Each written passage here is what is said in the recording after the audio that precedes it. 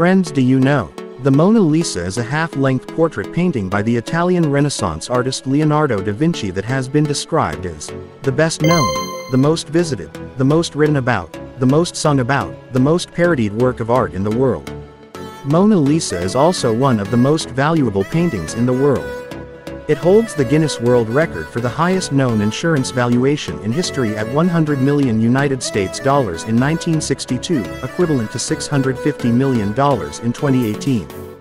The painting is thought by many to be a portrait of Lisa Gherardini, the wife of Francesco del Giocondo, and is in oil on a white Lombardy poplar panel. It had been believed to have been painted between 1503 and 1506, However, Leonardo may have continued working on it as late as 1517. Recent academic work suggests that it would not have been started before 1513. It was acquired by King Francis I of France and is now the property of the French Republic, on permanent display at the Louvre Museum in Paris since 1797.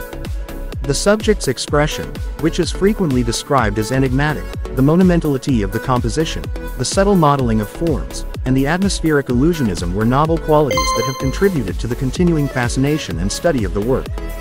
The title of the painting, which is known in English as Mona Lisa, comes from a description by Renaissance art historian Giorgio Vasari, who wrote, Leonardo undertook to paint, for Francesco del Giocondo, the portrait of Mona Lisa, his wife.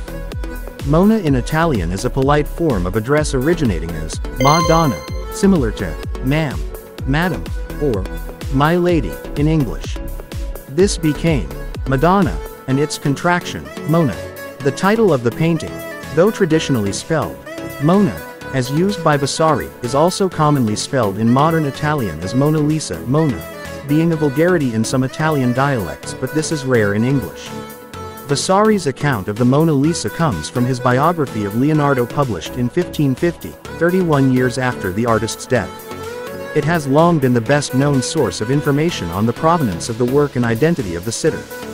Leonardo's assistant Salai, at his death in 1524, owned a portrait which in his personal papers was named La Gioconda, a painting bequeathed to him by Leonardo.